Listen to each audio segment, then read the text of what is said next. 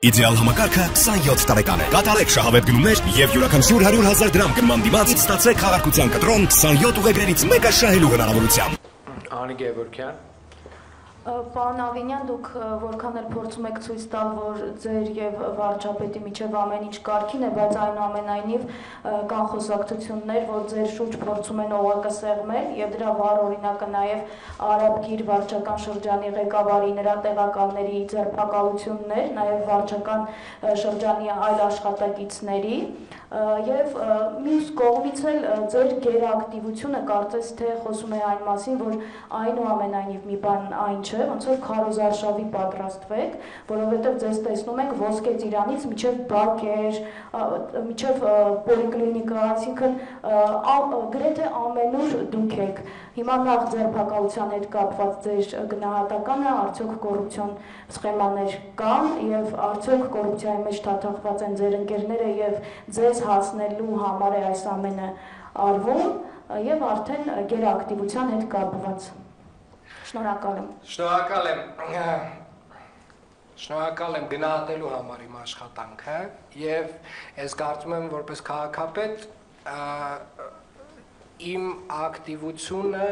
պարտադիր է, եթե մենք ունենք նախընտրական ծրագիր, որով որ գնացել ենք ընտրությունների,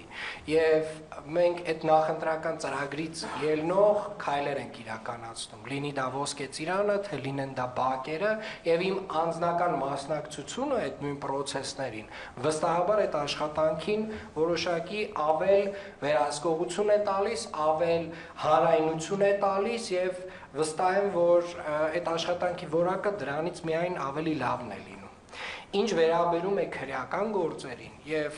առհասարակ թե մամուլում ինչ են գրում, ես 6 տարի, մոտավորապես 2018 թվականից այդ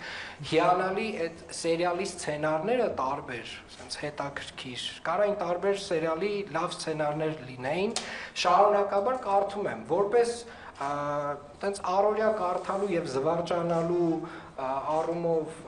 ընթերցանություն միգուցե դա ինչ որ մարդկանց հետաքրքիր է, բայց իրականության հետ որևէ աղերս չունի։ Այսինքն, գիտեք ոնց, եթե մենք անընդհատ կարանք այդ սերիալի սցենարները կարդանք ու ինչ որ բաներ դրանից եզրահանգենք ու կարանք տենց իրական կյանքը նայենք ու տեսնենք, որ այդքան էլ այդ ինտրիգները այդտեղ մեծ չէին եւ այնուամենայնիվ այդ պնդումները նույնպես իրականությանը չէին համապատասխանում։ Ինչ վերաբերում է կոռուպցիոն գործերին, կոռուպցիոն քրեական գործերին։ Ես նախ ասեմ, որ չեմ սիրում գնահատականներ տալ բոլոր ընթացիկ գործերին եւ վստահաբար այդտեղ կրկին ժամանակը ցույց կտա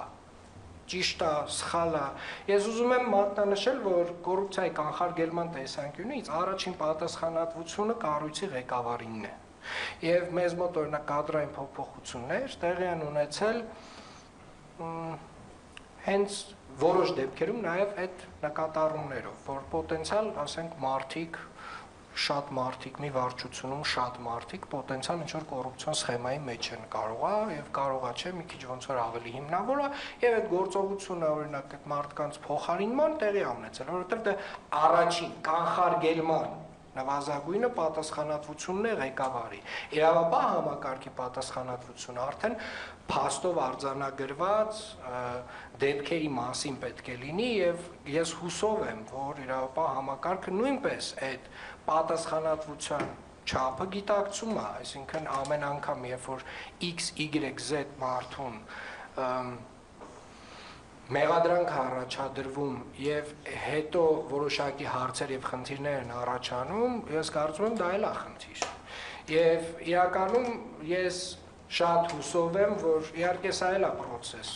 այս process-ն էլ կանցնենք եւ ես շատ հուսով եմ, որ իրավապահ համակարգը ինչ որ մի փուլում արդեն կդառնա այն ինստիտուտը, որ այդ վերջին օղակը ամբողջապես կփակի կոռուպցիայի տեսանկյունից, բայց ես ընթացիկ գործերին չէի ուզենա որևէ տեսակի մեկնաբանություն տալ, բայց ձեզ կարող եմ վստահեցնել, որ որևէ նման հարց քաղաքական որևէ ենթատեքստ չունի եւ չի կարող ունենալ։ Այսինքն թիրախը դուք չեք ոչ մի դեպքում թիրախ քաղաքական թիրախ այս գործերով չկա ու չի կարող լինել։ Ես ձեզ վստահեցնում եմ դրանում, այսինքն այդտեղ հասկանում եմ, որ կարող է թվալ։ Հիմա օրինակ ես ինչ տեղափոխվել եմ Երևանի քաղաքապետարան, վստահաբար այդ տեսակ process-ները ավելի ակտիվ են, որովհետև մենք էլ կոռուպցիայի կանխարգելման տեսանկյունից ավելի բաց ենք, ավելի պրոակտիվ ենք եւ ընդհանուր առմամբ ինչ որ միտեղ սխալ, ինչ որ միտեղ ճիշտ, բայց վստահաբար կոռուպցիայի դեմ պայքար Երևանի քաղաքապետարանում տեղի է ունենում։ Շնորհակալ եմ։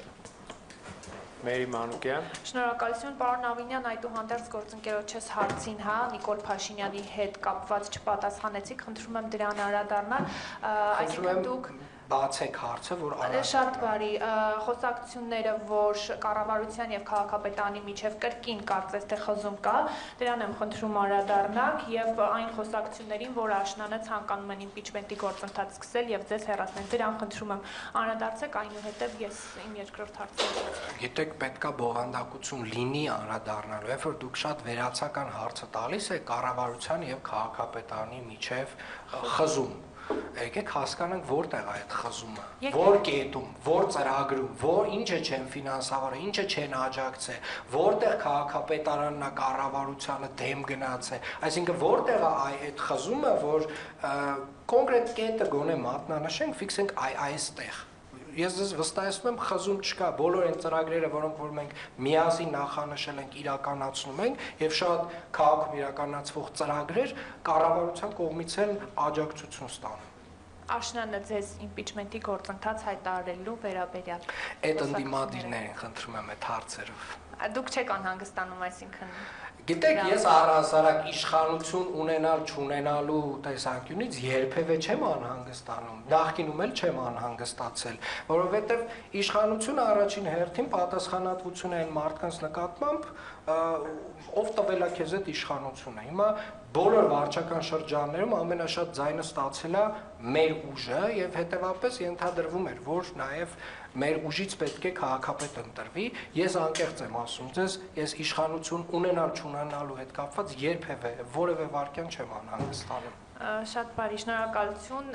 Պարոն Ավինյան, դուք բացման խոսքում նշեցիք, որ շուտով բերվելու են 171 նոր ավտոբուսներ, ու գաղտնիք չէ, հա, որ ուղևորները, ովքեր օգտվում են ավտոբուսներից, ուղևարցը չեն գցում նախատեսված տուփի մեջ, այդպիսով կարելի է նաև ենթադրել, որ տրանսպորտային բարեփոխումները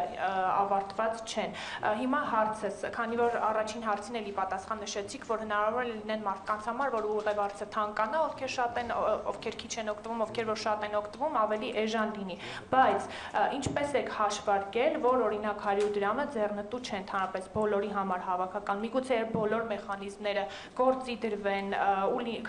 քաղաքացիները անխտիր վճարեն պետությանը, հա, ուղևարցը, այդ դեպքում 100 դրամը բավականաչափ լինի։ Խնդրում եմ անդրադառնանք նրան եւ այդ 250 նոր ավտոբուսները 18 մետրանոցների մասին, որ ասացիք, դրանք քաղաքին հավե